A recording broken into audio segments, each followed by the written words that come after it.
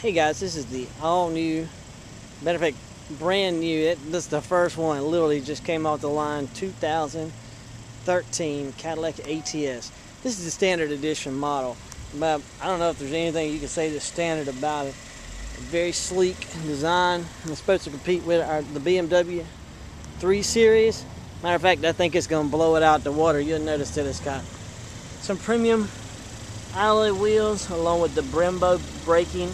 And you can, you can barely see it the Cadillac embroidering on it as well. It does have a premium sunroof. While we're outside I will show you this. If you can see this it's only $36,290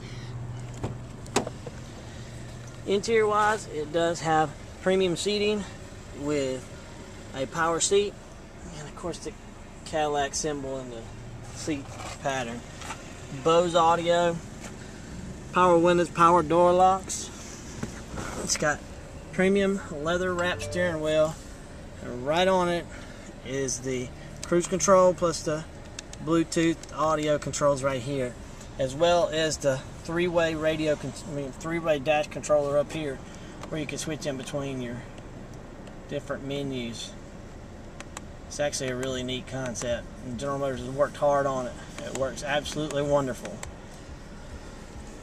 It does not have the CUE system, but as you can tell, it is all very sleek looking. It does have regular radio knobs here. However, this screen is somewhat touch oriented. You can touch the station you want after presetting them in there for it. Uh, so it makes it real easy.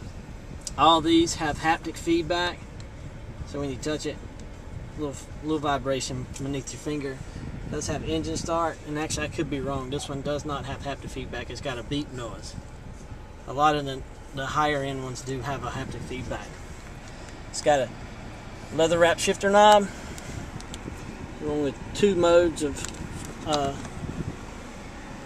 two modes such as uh, sport mode, uh, touring mode, in snow mode and it's all right here. I can't get the terminology right, but you know what I'm getting at. It's got two USB ports plus a SD card and an iPod port for yourself as well. Decent sized glove box. Not exactly sure what that is. Looks like something they use to tow it with. But it's got its own little rag here to clean this faceplate off with because it's going to get some fingerprints on it kind of like an iPhone would.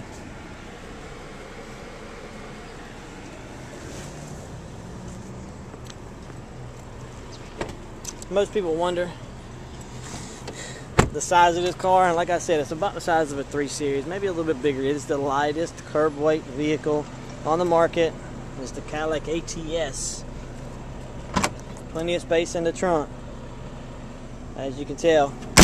Super sleek, super clean, brand new. $36,000. Will not find a better deal. Give me, myself, Adam Collins a call at Burns, ChevyCadillac.com or phone call actually at 803 366 9414.